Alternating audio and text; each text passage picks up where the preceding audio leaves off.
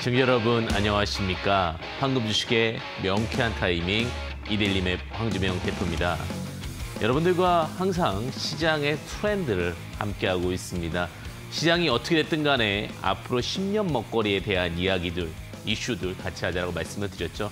오늘도 그 10년 앞으로 시장에 성장할 기업들과 기법에 대해서 여러분들과 함께하는 시간 예, 갖도록 하겠습니다. 자, 오늘도 많은 내용을 준비했습니다. 그리고 또 여러분들과 함께 소통하는 시간도 많이 준비했습니다. 하단에 보시면요. QR코드를 통해서 여러분들 참여 가능하신데 예, 좌측 QR코드를 찍어서 참여 가능하시고요. 문자 샵 3772 황주명 입력해서 보내주셔도 예, 오픈 채팅방 참여 가능할 수 있다는 부분 참고해 보시면 좋으실 것 같습니다. 자, 그러면서 지금 시장에 대한 기회와 어떤 위기 이 부분을 잘 파악하셔야 될 것 같은데 조금 더 궁금한 라이브적인 부분들이 궁금할 수도 있으실 것 같은데 그럴 때는 또 제가 온라인 강연에 준비했습니다. 여러분들과 함께 소통하는 시간을 가질 텐데요. 항상 시장의 트렌드 굉장히 중요하다고 말씀을 드렸었죠. 지금 급등하는 주식은 무엇인가라는 내용으로 여러분들과 함께하고 있습니다. 오후 8시부터 9시까지 매주 일요일 저녁 진행하고 있다는 부분 참고하시면 좋으실 것 같고요. 참여 방식은 포탈 검색에 신대가를 검색하십니다. 검색을 하시거나 혹은 문자 샵 3772 신대가 입력 후 전송해 주시면 됩니다. 특히 이제 그 포탈 검색에 신대가를 검색하시게 되면 특히 장중 혹은 시장에 맞춰서 어떤 오픈이 열리게 되는데 저 같은 일요일 저녁 8시부터 9시까지 제 사진을 클릭하시게 되면 예, 또 좋은 어떤 내용들을 받아볼 수 있는 시간 함께 할 수 있도록 진행하겠습니다. 자, 그럼 이제 본격적으로 오늘의 이야기 들어가 보도록 하겠습니다. 사실 이제 시장에서 어떤 것이 정말 앞으로 성장할 수 있을 것인가에 대한 이야기들이 너무나도 많습니다. 어떤 가수의 노래 중에 이제 진짜 성장할 찐찐찐 찐인 그 종목과 산업은 과연 무엇일까에 대한 부분들이 지금은 굉장히 중요한 어떤 시점에 와 있습니다. 그래서 오늘 그러한 종목들과 그러한 섹터들의 섹터에 대한 분류도 있을 거고요. 또 어떠한 투자법에 대한 이야기들도 여러분들과 함께하는 시간 갖도록 하겠습니다. 자, 오늘의 강의는요.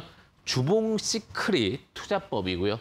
부재 2차 전지 양극재 적용해 본다라는 내용으로 함께 하겠습니다. 자, 주봉 시크릿의 매매법을 한번 체크해 보도록 하겠습니다. 자, 주봉 시크릿 왜 주봉을 갖고 왔느냐? 일봉을 파악하기에는 너무나도 어, 짧다, 시간이 많이 필요하다라는 노직이 생기게 됩니다. 그러다 보니까 시간에 대해서 조금 더 합리성에 대한 요구가 나오게 되고 주식은 1에서 5년 동안에 대한 흐름들을 보고 싶은 거죠, 차트 안에. 그러면 결국은 이동평균선이라는 개념이 나오게 되는데 그 개념을 우리는 주봉을 통해서 한번 체크해보자는 얘기입니다. 자, 1년을 기준으로 하게 되면 1년을 기준으로 하게 되면 우리는 52주를 얘기를 합니다. 자, 근데 제가 이 2주까지 계산하게 되면 너무나도 어, 좀 숫자가 복잡할 수 있기 때문에 제가 2주를 보내자 예전에 한번 말씀드렸었죠. 그래서 1년을 단순하게 50주로 계산하면 어느 정도 주가의 평균값이 보인다라고 말씀을 드렸습니다. 자, 그래서 옛날에 이런 얘기 했어요. 10년이면 강산도 변한다. 요즘엔 5년이면 강산도 변하죠. 자, 50주는 1년입니다. 그죠? 52주, 2주를 날렸다 그랬죠. 곱하기 2 100주는 2년, 150주는 3년, 200주는 4년, 5년. 그러면 그중에서 이제 가장 많이 변화가 일어나는 시즌은 언제냐? 어떠한 변화가 일어나고 나서 여기 2년, 100주의 과정에서 가장 큰 변화가 일어납니다. 그래서 1, 3, 4, 5 중심으로 중요한 변화가 일어나게 되고 일반적으로 2년 정도의 흐름이 벌립니다. 자, 5년선은 총체적인 추세선을 의미한다는데 이것은 무엇을 의미하냐면 변화의 끝선이라고 우리가 표현을 하게 됩니다. 그래서 5년선 위에 있는지 아래에 있는지는 지금 변화의 중심선 상에 있는지 없는지를 보이게 됩니다. 5년선 밑에 있는 종목들 같은 경우는 굉장히 좀 오랜 시간이 걸릴 수도 있다. 자, 3년선은 중심값이 됩니다. 3년선은 중심값이 되고 예, 3년선과 4년선은 반중심값이라고 하는데 이 구간 안에서 좀 주가가 티키타카 하는 경우들이 많기 때문에 그래서 제가 3년선은 중심값이 된다고 표현을 했고요. 단 주봉 시크릿 매매법은 상승 추세 산업이어야 된다라는 부분이 가장 제가 중요하다라고 이렇게 마크를 좀 치고 싶습니다. 주봉식 크림매법의 가장 핵심 사항은 상승 추대 산업이어야 된다라는 거고 10년 주기입니다. 제가 그런 얘기를 드렸죠. 제가 공부를 하다가 어느 순간 이제 그 어떠한 일상생활과 또 삶의 어떠한 그 스트레스는 누구나 갖게 되잖아요. 그러다 보니까 잠시 트렌드를 놓쳤었던 적도 있었습니다. 그런데 결국 제가 공부를 계속했어요. 이 산업에 대한 건 공부가 필요하고 경험이 필요합니다. 근데 그 공부와 경험을 하고 나니까 어떠한 결론에 도달하느냐. 아, 지금 어떠한 세상이 보이기 시작을 했습니다. 어떠한 흐름으로 가느냐에 대한 그 퀘스천이 보이기 시작을 했죠. 자, 이 세상이 보이기 시작을 했는데 제가 왜 세상이 보인다라는 얘기를 드렸냐. 지금 결국은 대한민국은 전 세계는 두 가지 부족 현상이 나오기 시작을 했습니다. 첫 번째는 어, 물적인 그러니까 어떤 물적 부족이 나오기 시작했죠. 자, 이 부족 현상이 하나가 발생을 했고 두 번째는 욕구 부족이 생겼습니다. 욕구 불만이죠. 욕구가 충족이 안 됩니다. 욕구 불만이 생기기 시작했어요. 예, 이게 지금 전 세계 시장의 어떠한 흐름일 것 같은데 이 지구라는 것은 결국은 한정된 영토이기 때문에 유한성이 발생합니다. 히- 그렇기 때문에 어떠한 로직으로 가냐? 유한한 자원을 얼마나 되풀이하게 되느냐, 되쓰게 되느냐에 대한 로직으로 바뀌게 됩니다. 그러면서 우리나라가 특히 이제 초등학교 교과서에 나왔던 것, 석유가 30년, 50년 안에 고갈이 된다. 이런 얘기가 있었죠. 그러다 보니까 그거엔 대체제로 물적 부족으로 인한 대체제로 어, 굴, 굴뚝 있는 사업이 발생하게 돼. 그게 2차 전지입니다. 재활용 사업이라는 거 두 번 저장할 수 있다. 여러 번 재장할 수 있다 해서 2차 전지죠. 3차 전지는 동용원까지 잡는 건데 그 과정은 나중에 얘기 드리고요. 1차 전지 예전에는 우리가 뭐 에너자이저 같은 경우 뭐 이렇게 어떤 특정 상표 같은 경우들은 한 번만 쓰면 되는 거였죠. 그런 게 이제 1차 전지죠. 근데 이제 충전을 하게 되는 거예요. 충전을 하게 되면 2차 전지가 발생을 하게 되고 2차 전지에 대한 부분들이 지금 시장을 장악하고 있습니다. 자, 또 하나는 뭐냐면 결국은 물적 부족으로 인해서 에너지에 대한 부분들이 계속해서 부족하다 보니까 얘기 나오는 게 신재생 에너지로 바뀌죠. 재생 에너지잖아요, 이것도. 그러면서 최근에 움직였던 태양광, 그다음 풍력, 이런 또 신재생 에너지, 재생 에너지, 2차 전지 이런 식의 루틴들이 만들어지기 시작했다는 거죠. 이건 10년 먹거리입니다. 특히 소재 산업 같은 경우 2차 전지 중에서도 소재 산업을 주목하셔야 되는 게 이 2차 전지는 크게 세 가지 산업 섹터로 나눠진다고 그랬죠. 어떻게 나눠진다고 그랬습니까, 제가? 첫 번째는 그죠. 전극 공정이 있고 조립 공정이 있고 그다음에 활성화 공정이 있는데 전극 공정이 결국 소재 산업이고 계속해서 쓸 수 있는 거라는 거죠. 그래서 이 소재 산업 중에서 2차 전지는 슈퍼 사이클이고 제가 관련된 종목들을 분석을 해드렸습니다. 다 잘 가고 있습니다. 예, 결국은 시장에서에 대한 트렌드와 흐름을 이해해야 되는 거고 주식이라는 것이 차트만 갖고 그리고 주식만 보고 하는 게 아닙니다. 전체적인 맥락과 흐름을 보고 하는 겁니다. 두 번째는요. 자, 욕구불만. 이것도 굉장히 중요한데. 사람이 이제 사람이 예전에는 그 어떠한 그 인생을 뛰어넘을 수 있는 개천에서 욕난다는 말이 굉장히 쉬웠습니다. 쉽지는 않았죠. 어려우니까 개천에서 욕난다는 말이 나오긴 했지만 지금은 현실 세계에서는 어, 지금의 나의 모습을 뛰어넘는 것은 점차적으로 더 어려워지면서 개충구조가 생기기 시작했습니다. 굉장히 안타까운 현실이죠. 그 다음에 물리적, 내 자금적인 제약, 공간적 제약이 더욱더 많아집니다. 이제는 점점 더 money flow에 대한 흐름들이 중요해지기 때문에 새로운 어떠한 나의 삶을 즐기기 위해서는 굉장히 많은 제약적 요건이 따릅니다. 그러다 보니까 사람들이 새로운 걸 추구하기 시작합니다. 그거를 지금 그 추구하는 세대를 우리는 MZ 세대라고 합니다. 밀레니엄 베이비 때 M, Z, 그 다음에 디지털 원시민의 원시인의 Z 세대. 그래서 MZ 세대라고 부르는데 1990년에서 2000년대 태어난 사람들을 MZ 세대라고 부르고 그 사람들이 지금 하는 그리고 우리가 지금 접해 있는 게 메타버스라는 세상에 들어와 있습니다.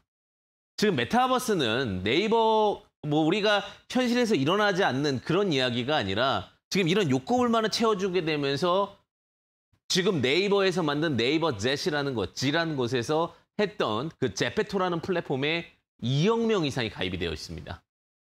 실제로 그 제페토라는 플랫폼 안에서 옷가게 장사를 하고요. 그 플랫폼 안에서 몇 천만 원씩 버는 사람들도 생기기 시작했습니다. 로블록스라는 미국의 게임 회사를 통해서 게임을 개발해서 유튜버처럼 내가 나의 개인 공간이 있으면서 그 공간에서 지금 몇십억씩 버는 사람들이 생겼습니다. 이제는 가상과 물리의 공간을 뛰어넘는 그런 세계가 만들어지게 되죠. 거울 세계를 뛰어넘는 세계까지 만들어지고 있는 순간입니다. 그러면서 그에 따른 디바이스와 그에 따른 어떠한 컨텐츠 예전에 이게 지금의 어느 시대와 같냐면 천리안, 하이텔, 나우누리, 뭐 라이코스 이 시대죠. 그 중에서 이제 군웅할거 하다가 결국은 네이버와 구글이 다 먹었죠. 그런 플랫폼 시대가 지금 만들어지고 있고 요 메타버스의 세계관도 분명히 보셔야 됩니다. 제가 이 부분은 계속해서 강의를 드릴 겁니다. 예. 네. 그래서 2차 전지와 메타버스가 앞으로 시장에서 계속해서 갈 수밖에 없고 대한민국은 여기서 하나 더 추가하면 제약바이오의 바이오 제약바이오의 제조업 합친 거라고 했습니다. 그러니까 이 두개큰 틀에 평생 갈 수 있는 건강에 대한 모멘텀이 주식에서 아마 10년 동안 상승할 수 있는 부분이 아닐까라는 생각이 듭니다. 자, 하단 보시게 되면 어떻게 보면 QR코드, 어, 여러분들이 더 궁금한 사항들이 많으실 것 같아서 QR코드 통해서 참여 가능하시고요. 문자 샵 3772 황주명 보내주시면 예, 오픈 어, 채팅방에서 여러분들 다양한 이야기들 또 나눠보실 수 있을 것 같습니다. 자, 그래서 내용적인 부분도 더 보도록 하겠습니다. 제가 이런 부분도 계속해서 제가 2차 전지도 그랬고 예전에 제약바이오 바닥일 때도 그랬지만 항상 그 트렌드에 대해서 얘기합니다. 정말 그 트렌드는 놓칠 수 없다. 그래서 오늘은 그 배터리 중에서 그 양극재에 대해서 먼저 갈게요. 배터리 중에 이제 소지 산업이라고 그랬죠. 자, 짧게 말씀을 드리면 리바이벌 하겠습니다. 자, 양극재가 있고요. 전극 과정에서 극을 만드는 전기의 극을 만드는 과정을 전극 과정이라 그러는데 자 이온은 리튬 이온이든 양, 어, 리튬 이온은 양에서 음으로 갑니다. 근데 양에서 음으로 바로 가버리면 불납니다. 그러다 보니까 여기서 걸러올 것좀 걸러주자 하면서 나온 게 무슨 막? 분리막이 나온 겁니다.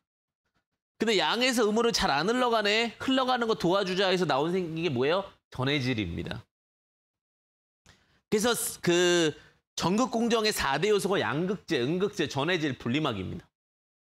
그중에 최근에 이제 많이 성장한 것이 양극재, 그 다음 쫓아갈 것이 음극재죠. 자, 양극재는요, 배터리 용량과 출력을 결정하는 핵심 소재입니다. 출력 빵빵 쏘는 거 있죠? 자, 배터리 생산 원가의 40에서 45%를 차지하기 때문에 굉장히 많은 부분을 예, 차지하고 있죠. 자, 근데 이제 에너지 밀도를 끌어올리기 위해서는 양극화 물질의 에너지 밀질을 최대한 높여야 된다는 건데 그, 그 물질을 높일 수 있는 어떤 양극화 물질이 무엇이냐 이렇게 알아보니까 적합성을 내는 양극화 물질이 니켈, 망간, 코발트, 알루미늄 등이 있습니다. 그래서 니켈, 하이니켈 얘기가 요즘 뉴스 많이 나오는데 이게 양극화 물질, 고효율을 낼 수 있는 물질입니다. 그래서 우리가 이제 예, 뉴스 보게 되면 뭐 NMC라든지 NMA 뭐 이런 게 나오기 시작합니다. 이런 것들이 뭐예요? 결국 양극재에 쓰이는 물질이고 이게 잘 돼야 출력도 좋고 안정성도 갖고 이렇게 된다는 얘기죠. 자, 그 중에서 이제 제일 먼저 적혀 있는 게 뭐예요? 니켈이죠. 니켈이 중요하니까 제일 먼저 쓰겠죠. 항상 중요한 거 먼저 쓰는 거 두 가지씩 뭐 영어의 가장 기본은 뭐예요? 두 가지씩이잖아요. 그죠? 제일 먼저 써준다는 거죠. 자, 니켈은 고용량, 망가가 코발트는 안정성, 알루미늄 출력 특성을 향상시키는 역할을 한다는 거죠. 니켈이 뭐라고요? 고용량, 망간과 코발트는 안정성, 그 다음에 그 알루미늄은 어떤 출력 특성을 결정을 하게 되는데 양극재는요. 지금 제가 말씀드렸죠. NCM. 제가 정정 NCM이나 NCA로 가겠죠. 정정할게요. NCM이나 자, NCA. 자, NC M이나 자, 코발트는 항상 들어가야 되겠죠. 정정합니다. NC, A 이렇게 되게 이게 정상이죠. 망간이 이제 들어가는 게 아니고 코발트가 중심이니까. 자, 그래서 두 종류의 양극재가 많이 사용한다라고 보시면 될 것 같습니다. 그래서 요거에 대한 부분들 알아보시고요. 자, 그럼 체크해 보게 되면 자, 니켈을 활용해 이런 걸로 이해해야 됩니까? 이해하셔야 돼요. 그래야 종목이 뭐예요? 니켈 높여서 고용량을 지향하지만 안정성이 떨어져서 보완하는 것이 양극재 핵심 기술인데 자, 이제 여기 좀 이해 가시죠? SK이노베이션, LG화학은 NCM 기술을 사용한대요.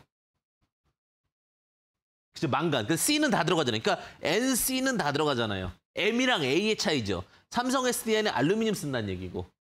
그럼 이 NC 관련된 종목이 제일 중요할 수 있겠네요. 그죠?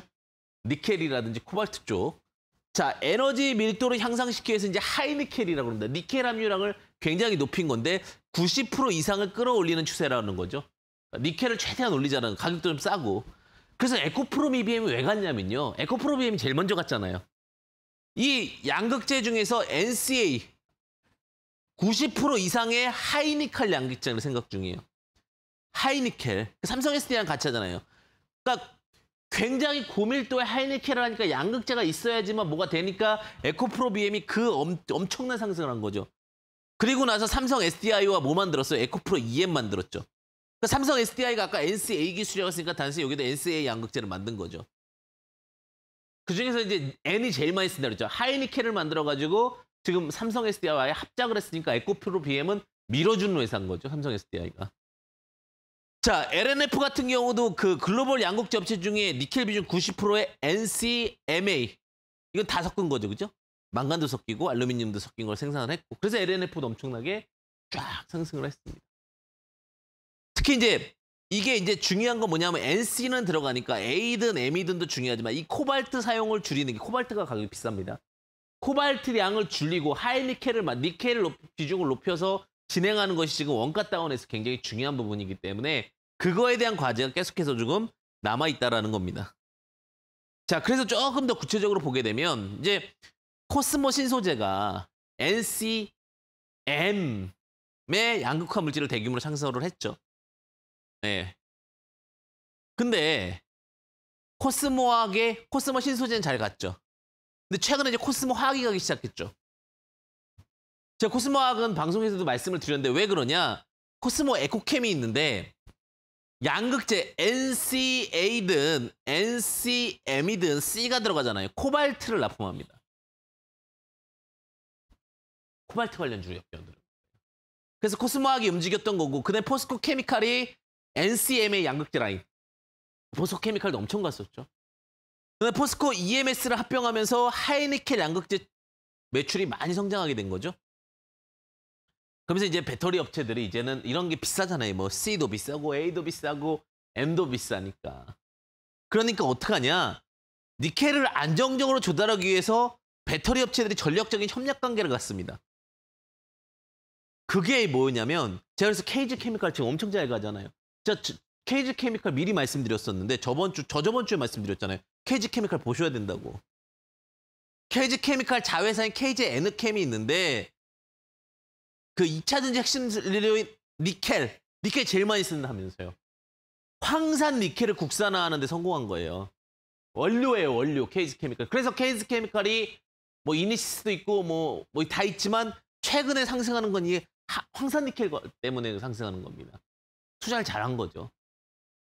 그리고 나서 이제 니큐라면량이 낮은 원재료를 저렴한 가격에 들어와서 자체 기술을 이제 추출하는 기술이 얘네가 있는 거예요. 그러니까 쉽게 얘기하면 싼 거 갖고 와서 거기서 잘 추출하는 거예요. 잘 추출해가지고 돈이 되게끔 만드는 기술이 있고 자, 또 이 양극재 생산업체인 유미코에게 공급 계약을 맺었습니다. 그래서 유미코와 함께 공급 계약이 있었다 보니까 최근에 케이지 케미칼이 갔었죠. 이게 지금 이런 스토리가 제가 그랬죠. 2차 전지와 그다음에 뭘 알고 있어야 된다고요? 메타버스를 이해하고 돼. 거기다 차트 적용하셔야 돼요. 왜 내 차트가 안 맞냐면 이런 기본적인 본질적인 내용을 몰라서 그렇습니다. 지금 이런 게 정리된 게 없습니다. 지금 제가 유일하게 다 정리해야 돼. 과정마다 종목들을 정리한 게 제가 이거를 정리하기 위해서 엄청난 시간이 들었습니다. 자, 그래서 이제 고려아이언은 황산니켈 제조사인 캠코 지분을 갖고 있고 황산니켈 아까 전에 맞죠? 황산니켈. LG화학도 황산니켈 갖고 있잖아요. 왜 N이 제일 크다면서요? N이 N이 C, M이면은 N에 관련된 것들이 90% 이상을 차지하니까 이 황산 니켈, 황산에서 니켈 떠오는 것이 가장 중요하다는 거죠. 그 다음에 코발트가 중요한 거죠. 코발트가 코스모학이고 그리고 추가적으로 고려아연과 LG화학은 2차 전지 전구차 합작사를 설립했다. 이제 같이 뭔가를 더하기 시작했다는 얘기예요. 고려아연 들으니까 뭐가 돼버린 거예요. 포스코 케미칼이 눈을 빨리 떠가지고 2차 전지를 다 넘어갔어요. 그리고 나서 포스코 그룹주들이 고려아연도 지금 2차 전지로 넘어가고 있다는 얘기예요. 돈이 되는 쪽 이쪽이니까.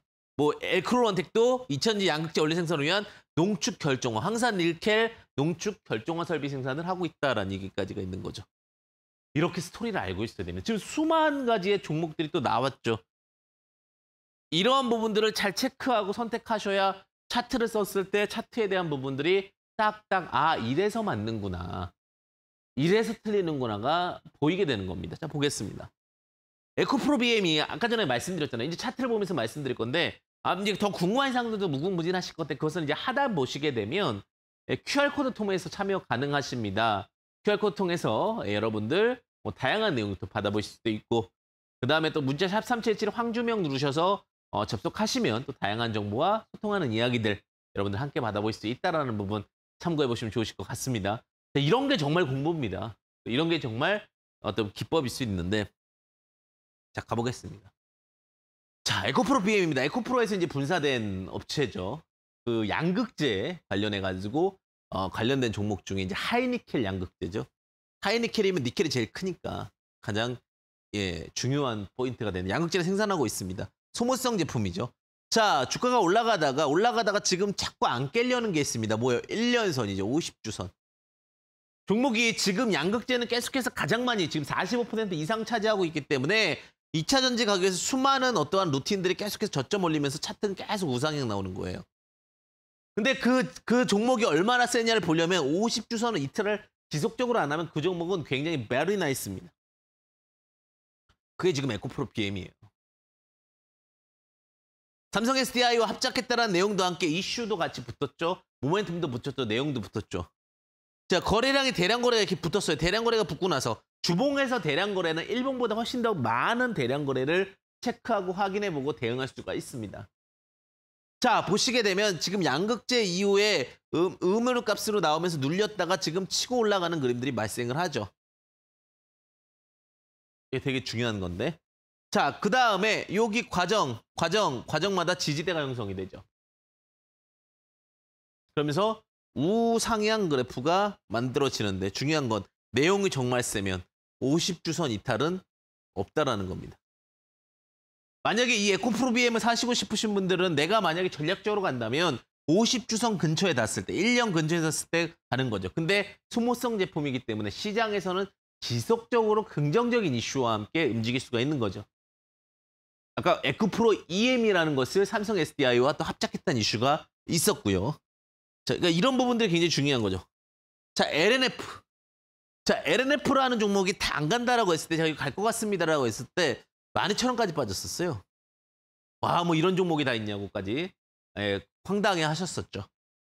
근데 12,656원까지 빠졌다가, 양극재로서는 시장이 굉장히 빠르게 성장을 했죠. 특히 양극재 업체 중에서 NCMA, 코발트와 함께 망건과 알루미늄을 적절하게 잘 섞어가지고 만들어낸 거죠. 자, 그러니까 어, 우리가 말하는 몇 배 간 거예요?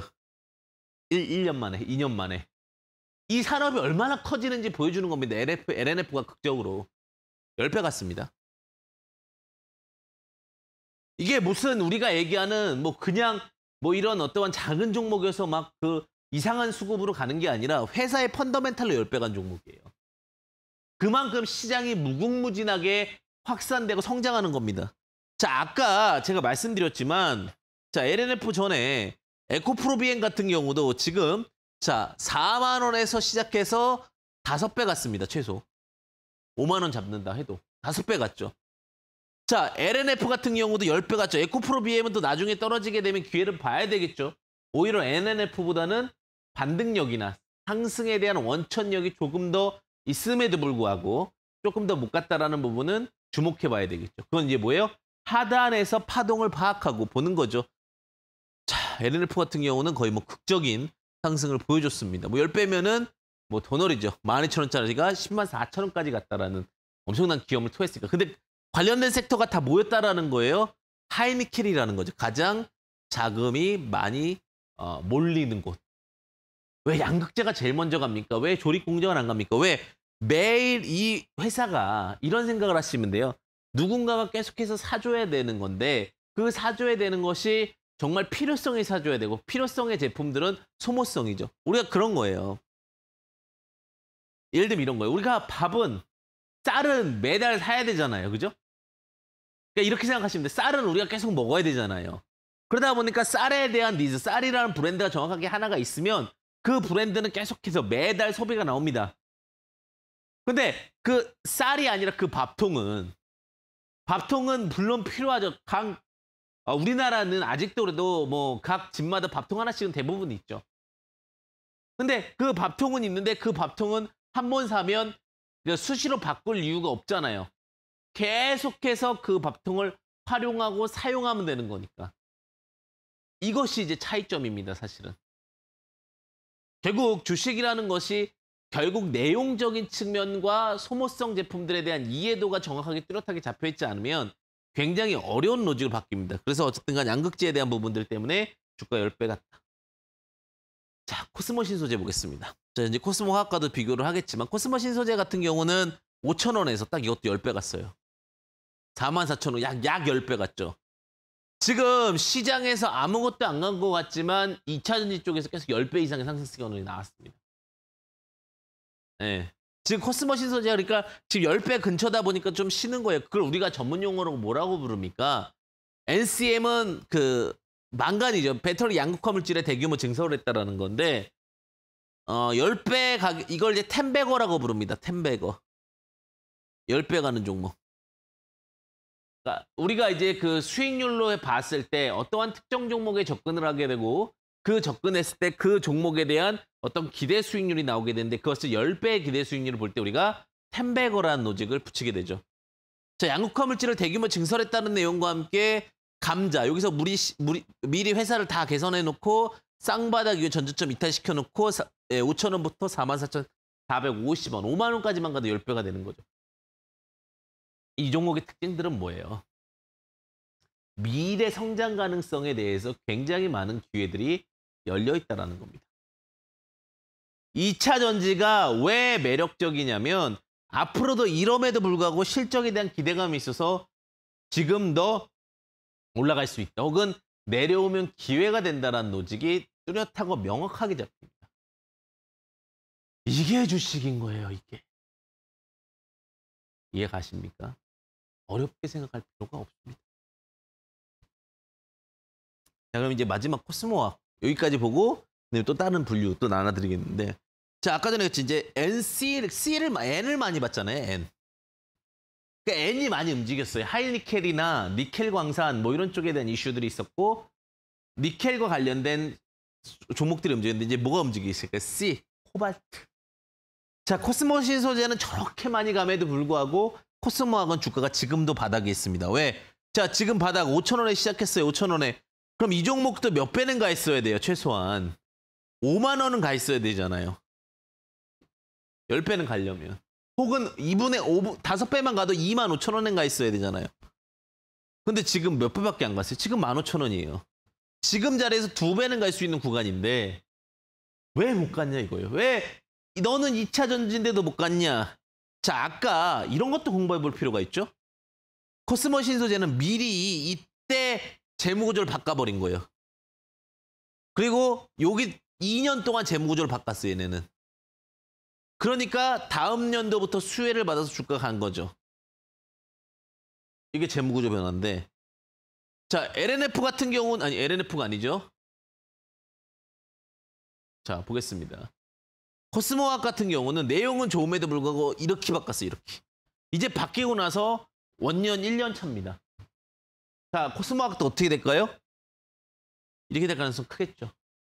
자, 그리고 아직은 니켈, 하이니켈에 대한 이슈가 많다 보니까 코발트에 대한 이슈가 조금 약했어요. 근데 코스모 신소재라는 주식을 갖고 있죠. 지분 30% 이상 갖고 있기 때문에 그에 따른 진포 투자 수익에 대한 기대치도 있고 주가 파동도 하단에 있다 보니까 그런 로직에서 종목을 볼 수 있는 거죠. 무슨 말인지 아시겠죠? 제가 2차 전지를 누가 종목을 준다 해서 그것을 단순히 그냥 어떠한 파셜로 개별 개별 보게 되면 절대 이해가 안 돼요. 이 산업은요 정말 엄청나게 공부해야 됩니다. 지금 답답한 부분이 있어요 사실은. 왜냐? 2차 전지를 완벽하게 이해하지 않고 투자하면 어떻게 되느냐? 곧 지금 10배 간 종목들도 많잖아요. 거기서 굳이 물릴 필요는 없잖아요. 덜 간 종목, 그렇게 심히 제가 케이지 케미컬도 만들어들었지만 말씀 상상이라 말씀드렸지만 시장에서 중심이 될 수 있는 종목 제가 나노 신소재 좀 말씀드렸었죠.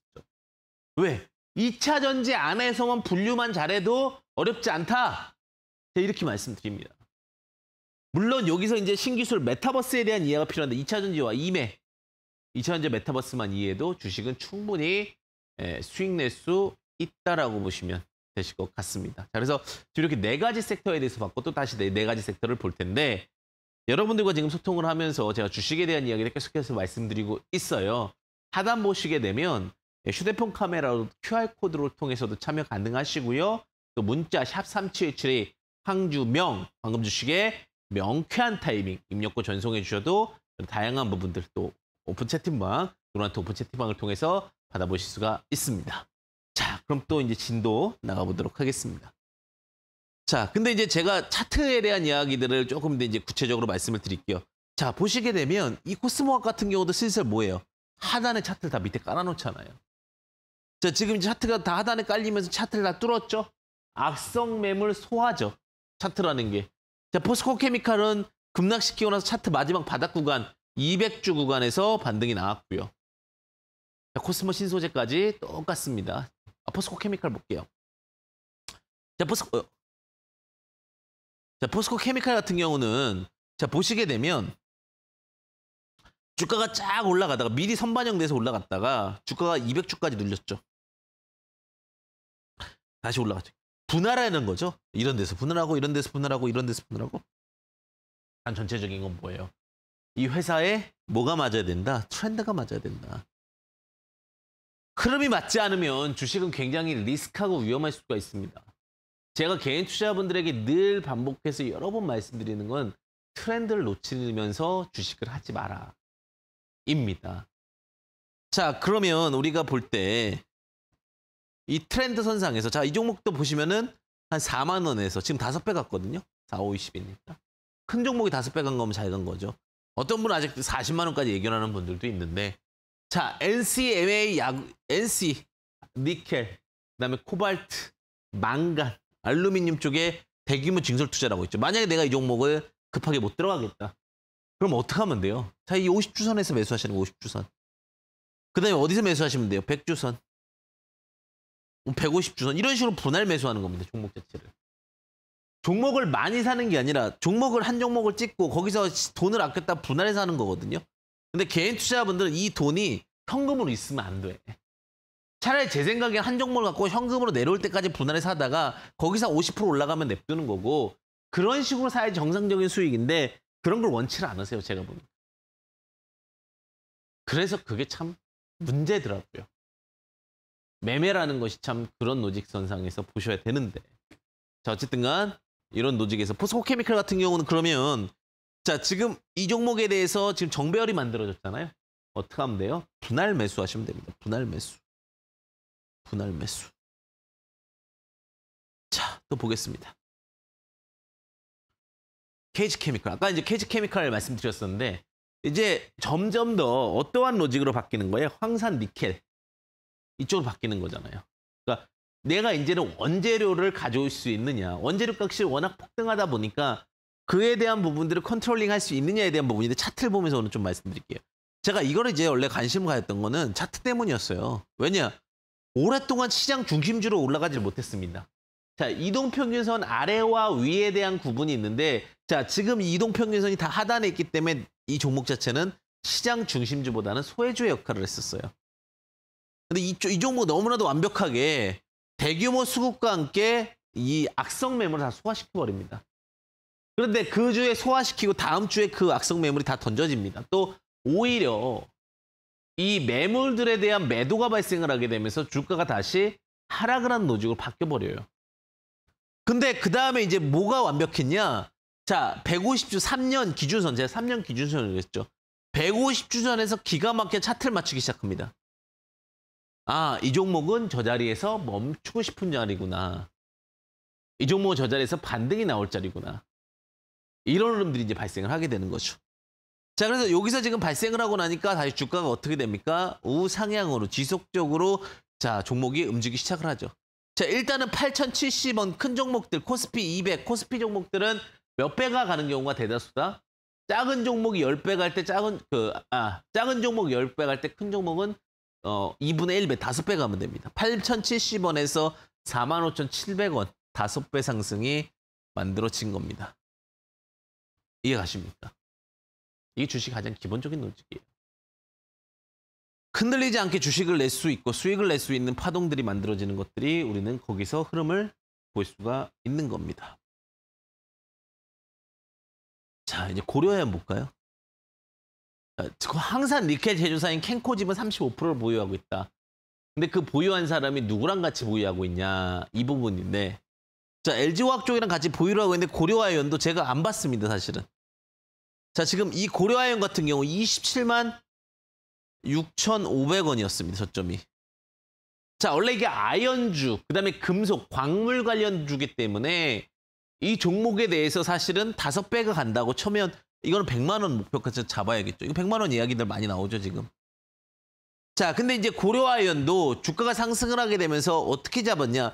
자, 이제 슬슬 이 악성 매물이 소화가 되는 겁니다. 악성 매물 소화라는 것은 결국은 이동평균선 다섯 개의 중심값들을 다 장악하는 겁니다.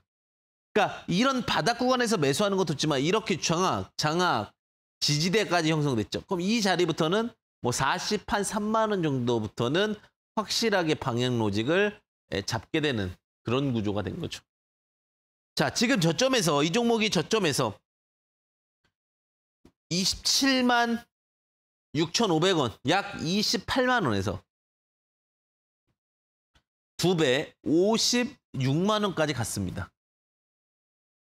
자, 이 종목은 지금 계속해서 실적이 좋아지고 또 회사의 펀더멘탈이나 구조 변화들이 기대가 되고 있는 기업 중에 하나죠. 그러면 결국은 28만 원짜리 기업이 자, 10배면 280만 원인데 10배가 못 간다 치더라도 곱하기 5배 간다면 140만 원까지 상승을 하면 사실은 보일 수가 있습니다. 지금 우리가 공부하는 이유들을 아시겠죠? 왜? 내용에 대한 정확한 이해와 펀드멘탈에 대한 훈련이 결국은 불안한 주시장에서 어, 수익을 보는 방식이 되는 거예요. 주식시장은 불안하기 때문에. 그래서 제가 그 구조 속에서 고려 아연 또 내려오면 더 좋죠. 근데 쉽게 이게 이제 워낙 그 주가 바닥에 있다가 최근에 퉁퉁퉁 치고 올라왔기 때문에 이 구간 안에서 이 구간 안에서 어떠한 지금 조정에 대한 부분들이 깊지는 않을 수밖에 없지 않을까. 그러니까 종목이 조정이 깊으려면 결국은 수급에 오해가 있거나 혹은 어떤 문제가 있어야 되는데 그런 부분에 대한 로직들은 없다라는 부분은 좀 주목해 보실 수 있지 않을까. 이런 생각이 듭니다. 자, 그래서 고려아연까지 이제 받고 그 다음 종목 하나 더 체크해 보겠습니다. 사실 이렇게 차트를 보고 공부하는 것이 굉장히 중요하지만 그 차트를 보기 전에 내용을 먼저 알아야 됩니다. 아무리 차트가 좋고 타이밍이 좋아도 결국은 뭐예요? 기초 체력이 좋아야 됩니다. 즉 펀더멘탈이 좋아야 됩니다. 아무리 누군가가 지원해주고 밀어준다 하더라도 그 종목이 더 멀리 더 훨훨 더 잘 가려면은 결국은 어떠한 흐름에 대한 노직들이 정확하게 맞춰져 있어야지만 더 잘 갈 수 있다. 이렇게 좀 말씀드리도록 하겠습니다. 자, 또 보겠습니다. 이제 황산니켈이죠. NCM이든 NCA든 황산니켈 농축 결정화 성비 생산을 공급한다라는 이야기가 좀 있었습니다. 사실 이제 그 웰코넌텍 같은 경우 제가 그렇게 썩 그 패턴적으로는 좋아하는 패턴은 아닙니다. 왜 그러냐? 자꾸 꼬리가 너무 많이 밟힙니다. 이거는 꼬리 꼬리 전 꼬리 전문 종목입니다. 뭐냐면 위로 올라갈 때마다 뭐 단기적으로 같은 동일선상에서 꼬리가 발생되는 거는 이해가 됩니다. 같은 동일선상에서 꼬리가 되는 꼬리가 발생하는 것은 결국은 물량의 선순환 구조입니다. 그러니까 물량의 어떤 흐름들에 대해서 어 쉽게 얘기하면은 악성 매물을 소화하고 새로운 수급이 들어오는 패턴이 이 과정이고요. 근데 주가가 이렇게 변화되면서 자꾸 윗꼬리가 발생하는 것은 누군가 차익 실험 매물에 대한 부분들이 좀 있다라는 부분들. 그러다 보니까 종목이 가벼움에도 불구하고 많은 상승을 보이지 못했습니다. 그렇다 하더라도 소기의 목적은 달성을 했습니다. 어떠한 목적을 달성했느냐? 자, 저점이 950원이었습니다. 950원 중에 자, 다섯 배 상승을 하면 4,700원입니다. 95, 45, 55, 25, 4,750원. 자, 이 구간까지 주가가 흐름상으로는 만들어졌다. 다섯 배까지 만들어졌고 이제 이 웰크론한 대기, 여러 가지 윤리적인 문제와 또 어떤 2차전지 외에 비체계적 위험, 리스크적인 부분들이 없다라고 전제가 깔리게 된다면 당연히 웰크론한테도 잘 갈 수 있고 가장 중요한 구조는 뭐냐? 그래도 여기서 이제 좀 turning point, tipping point를 하면서 주가 상승했던 이유는 뭐냐면 물량 테스트를 충분히 이평을 장악하면서 그러니까 이평만 봐도 대충 흐름이 보이죠. 아 내가 이 종목을 어떻게 잡을 것인가. 아 나 이 종목은 5주선 다음에 잡겠다. 아 나 이 종목은 별로 안 좋으니까 5주선이 아니죠. 50주선 다음은 좋겠다. 아니면 100주선 다음은 사야겠다. 이런 식으로 어떠한 logic과 가정들이 만들어지기 시작을 했고 그 logic과 가정 속에서 우리는 주가의 어떤 전체적인 맥락상의 흐름을 예, 볼 수가 있습니다. 자, 지금 계속해서 여러분들과 다양한 이슈와 이야기를 차트에 대해서 말씀을 드리는데 지금 하단 보시게 되면 여러분들 예, QR코드 통해서도 참여 가능하시고요. 문자 샵 3772 황주명 입력 후에도 여러분들 어, 오픈 채팅방을 통해서 여러분들 다양한 스토리와 라인들 이야기들 함께 받아보실 수 있다라는 부분 예, 참고하시면 예, 좋으실 것 같습니다. 자, 그다음 보겠습니다. 이제 지수를 좀 보도록 할게요. 사실 지수는 그래도 잘 버티고 있습니다. 사실 시장에 대한 우려감이나 두려움보다는 어떻게 보면 기대감이 더 반영이 되는 건가요? 하지만 이제 이 지수도 3대 악재를 만났습니다. 그래서 우리가 그 악재에 대한 부분들을 지속적으로 좀 체크해보고 적용하고 대응해 보셔야 될 것 같은데 첫 번째는 달러를 고민하셔야 될 것 같습니다. 자, 지금 달러의 가치가 50원, 1150원 구간이면은 더 이상 올라가게 되면 자, 캐시가 우리 주식을 투자할 때 있어서 환차익이라는 단어를 쓰게 됩니다. 환차익이라는 것은 뭐냐면 내가 원화를 통해 투자하기 때문에 원화의 가치가 올라갈 것 같으면 당연히 이 주시장에 넣어놔야겠죠. 근데 원화의 가치가 떨어지고 달러의 가치가 올라갈 것 같으면 당연히 원화의 돈을 빼다가 달러 쪽에 집어넣어놔야 됩니다. 이게 이제 환 trading이라고 그러는데 자 어쨌든 간 근데 지금 달러의 가치가 코스피 기준으로 봤을 때는 높다. 더 올라가게 될 수도 있고 그렇기 때문에 사실은 코스피 시장에서는 예, 좀 리스크하다라고 보고 있습니다. 달러에 대한 리스크. 자, 그리고 이제 코스피 시장에서 이제 주가가 쭉 올라가려고 하다 보니 어떤 수급이 이 달러에 대한 리스크와 함께 코스피 시장에서 두각을 받을 수 있는 부분이 수급의 부재입니다. 이게 왜 수급의 부재가 되냐면 신용에 대한 부분들이 우려감이 있습니다. 신용. 이게 이제 대비라는 거죠. 빚입니다. 빚. 자, 어쨌든 간 빚을 너무 많이 진 거죠. 그러다 보니까 이게 나중에 대한민국 같은 경우 올해 하반기 때 한 번 정도는 금리 인상을 할 수 있다는 얘기가 있죠. 자, 금리 인상을 하게 되면 뭐가 문제가 되냐면 이, 이 빚이 일반적으로 과거와 다르게 혹은 변동금리로 돼 있습니다. 그러니까 변동금리로 돼 있다 보니까 안 좋을 때는 더 많이 빠지고 올라갈 때는 덜 올라가고 라는 소식도 생길 수가 있어요. 정확한 판단이 들지 않는다라고 하면. 그러다 보니까 이런 어떤 신용에 대한 부분들도 코스피 시장에서는 굉장히 좀 리스크할 수가 있고요. 그 다음에 또 하나가 뭐냐면 주인공의 부재가 나타나기 시작합니다. 예전에 주인공은 뭐니 뭐니 해도 삼성전자였죠. 삼성전자가 주인공이 돼서 막 움직이고 시장을 다 장악했는데 지금은 다 부담, 부담스러워요.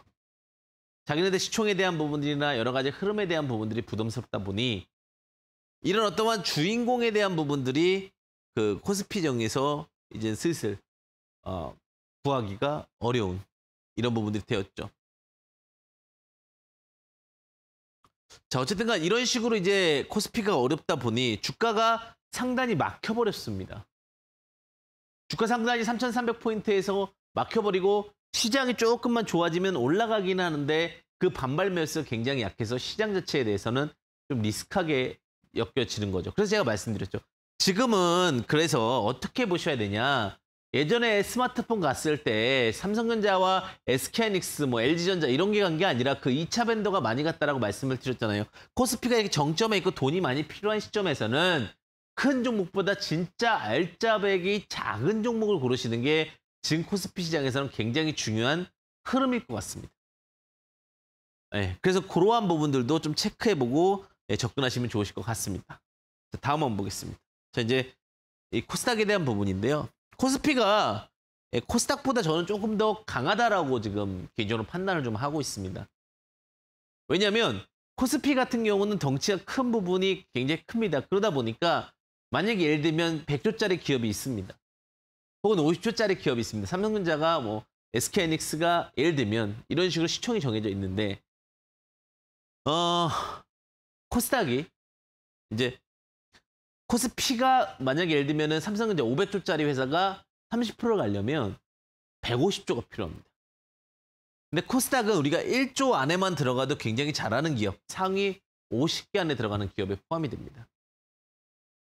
지금은 더 안 되겠지만 그래서 이 1조 정도의 수급이라면 혹은 그 밑에 있는 수급이겠죠. 3천억이 될 수도 있고 2천억, 1천억이 될 수도 있으니까 종목이 조금 더 불편할 수는 있지만 오히려 기회장이 마련될 수가 있습니다. 그래서 이제 코스피보다는 제가 지금은 코스닥 개별 종목에 대해서 주의하자라는 부분들을 괜히 방송에서도 많이 하고 또 많이 이슈화하고 이야기 드리고 있습니다. 그래서 코스닥의 알짜배기 회사들을 잡는 것도 굉장히 중요할 수가 있습니다. 그래서 이러한 부분들에 대해서 제가 계속해서 앞서 말씀드렸다시피 글들 속에서 종목에 대한 서칭보드를 드렸고 그 부분에 대해서 여러분들이 고민하고 고심하신다면 어렵진 않을 것 같습니다. 그러면 아까 코스피 같은 경우는 2차 전지 어, 밑에 세 개 종목이라고 봤을 때 자 이제 코스닥을 봅시다. 자, 코스닥을 보게 되면 제가 이제 그 쌍, 2차 2차 전지와 그 다음에 메타버스가 있다고 말씀드렸죠.